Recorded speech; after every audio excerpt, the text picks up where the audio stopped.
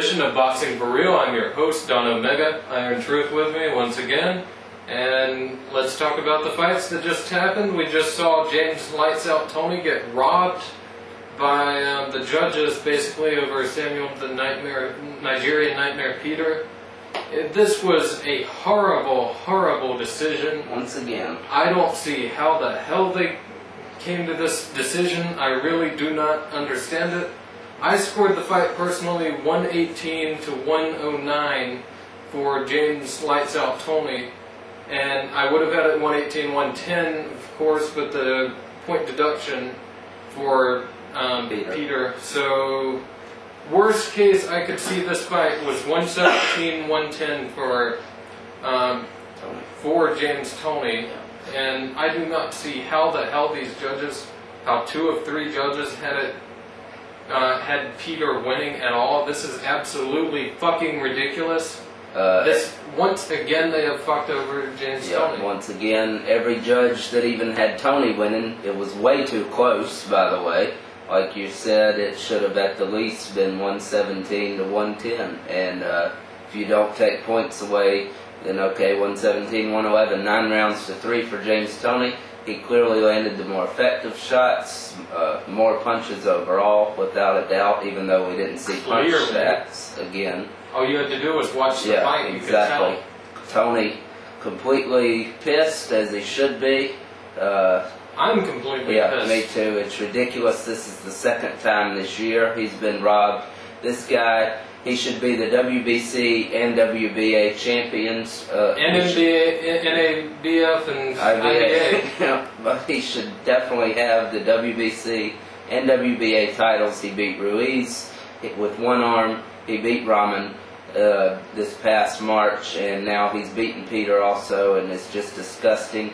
And apparently he's not going to retire, which thank goodness, and I hope he comes back and It's just unfortunate he doesn't have Yeah. power because if he had power, these fuckers would be knocked out. and he's and, not going to get decisions as we've seen. We've clearly seen they're just refusing because the boxing industry doesn't like James Toney, clearly. Exactly, says Which is funny because he's one of the two or three top boxers Yeah. there is today. Exactly. Top pound for pound boxers there is as far as um, skill. one of the smartest fighters ever, and uh, they don't like him because he doesn't go along with everybody else. He won't suck One of the best, absolute best counterpunchers of all time. They, no doubt.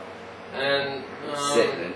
It is absolute. I, I just uh, I want to go on and on about this, but we're not going to. Toney just regroup and um, hopefully, hopefully one of these faggots like the Klitschko's or someone will fight you. I really doubt it, but Or one of those other Maybe- champions. maybe Monty Barrett will win. He'll give you a shot. He will. But um, anyhow, moving on. Robert the Ghost Guerrero did get his work. He got a spectacular um, performance against Eric. Eric Aiken. It was actually stopped in the corner Yeah. between rounds, and Aiken just.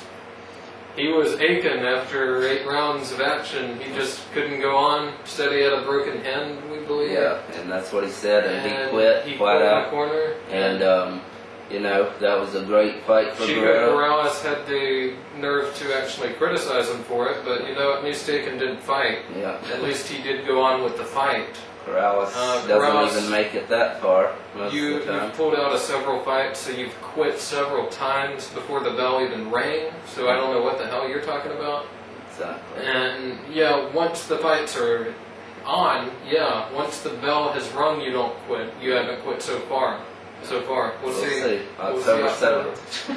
But um, yeah, and I don't agree with that. So anyhow, Robert the Ghost Guerrero looking great said he wants to fight these guys. He was actually naming people at 130 that he wanted to fight, but um, he could, he should right now, I think, stay at 126 and clear out that division. I mean, Yeah, he he's should. young, very young. He mentioned Marquez, Juan Manuel Marquez. I think Perfect. he beats him. Absolutely. Definitely. Uh, Good, get him, get Chris John. Yeah. Um, Get all those guys. Uh, Eric Aiken beat Tim Austin, so this guy wasn't a complete nobody. I mean, he did knock out Tim Austin. yeah, so he was a decent legitimate fighter. Yeah, contender. yeah. But So, anyhow, great night for Robert the Ghost Guerrero. Also, this weekend we had Allan Green fighting, Yep. and, And- Allan Green won a Yeah, he got Decision? a 10 round decision, and he it was uh, closer than expected, but he did clearly win. He knocked uh, Linton down in the uh, seventh round with a flurry of punches, and he pretty much controlled. He kind of stayed to the outside this time more than usual and just pot shotted, and he showed his boxing skills. So we'll see where he goes. I was surprised he didn't get a knockout. Yeah, I'll say too. that, but I'm still not going to hold it against No. him, of course. And he still. Can't won knock a everybody out. very wide decision, and Yeah. he's looking great at 168. He he really could be, and really looks like he could be the future of 168, Yeah. like or already there, really. Yeah. He's uh starting to. He's gonna be getting those big It's fights just a probably matter of next getting the fights now. Yeah. And also on Yeah. that same card, Emanuel Augustus uh, knocked Revenge. out Courtney Burton in the eighth round with a body shot, which is how he should have gotten the first knockout. in Uh, the third round. yeah, in the uh, fourth round it Fourth- was oh, in the fourth first round, fight. Fourth round of the first But fight. uh, he got him with a body shot there, called a low blow. Doesn't matter anymore. Uh, he got this one, got revenge, and Burton knocked out for the fourth straight time in a row. In and in if his you career. if you count the other one, which then yeah, that's um, true. That's another knockout Yeah. against him. Truthfully, All of his losses have been by knockout. So that's And- six now, really seven, but you know. really good that um, Augustus won this. He deserved this win. It was yeah. great that he even got the rematch. Yeah, I was surprised. that he And got the rematch. Courtney Burton time to pack it in. Really. I mean, why, why are you still at it? You're losing all these fights. You're done. Yeah. You got your one-one against Manfredi, That was it. and that was really your um, thing. I thought he was going to be somebody after that. I did too. I I, really did too. I, I liked him, Yep. I was glad he beat Manfredi Oh, yeah, me afterwards. And then nothing. No. Just. I don't know. But anyhow, time to retire. Uh, yeah, you got a tainted one against a very, very tainted one against Emanuel Augustus. It shouldn't be a win, but whatever. Time to retire. Also, this weekend off TV, the Peterson brothers both remained undefeated. Both um, apparently still winning very one-sidedly. Who knows? Since we didn't see them. Anthony got the decision Got the win. decision. Lamont got the knockout win. Seventh round, Kind of switched their roles there. Lamont's known as the boxer more than Anthony, and Anthony more the puncher. But anyway, But we don't know. We don't really know much about their opponents. Right. So one might have fought the so better opponent. once again, thanks for not showing them because we wouldn't want to see upcoming prospects. No, or anything. never. So you And know. also, um, wasn't the Glen Johnson? Yeah, Clinton Woods upset Glen Johnson this today, Saturday, and that was I was pretty surprised. I expect Johnson to beat him. They And didn't now- didn't see the fight once No. again. They didn't show the fight here Yeah. in the U.S. Of course.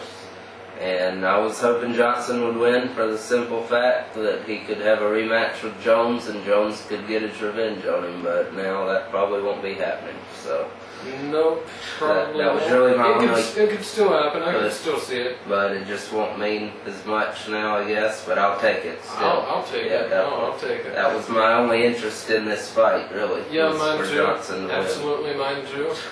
And who knows? Maybe Johnson will feel like he was robbed or something. Maybe he was. We didn't Yeah, see the fight. Who know. knows?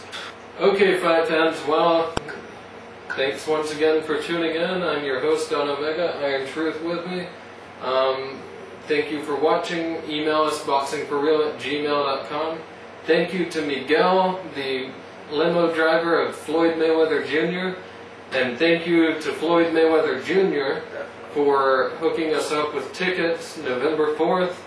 We are going to the big show, looking very forward to it, thinking about it every day, really looking forward to it. We're going to miss um, Briggs' Why, Like why a faggot? Uh, Thank you. yeah, again, another Thank you reason. once again, Mayweather Floyd, for allowing us to miss that bullshit. Yep, Which we would have got your pay per view anyhow, but we, no doubt. anyhow.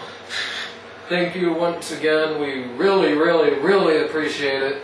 And thank you, fans, for all the emails, all the support. Oh my gosh, we've people have been emailing like crazy, messaging on YouTube and everything. Just everyone wants us back. We here's coming. some more episodes for you. We probably put up a lot before you see this one, but whatever.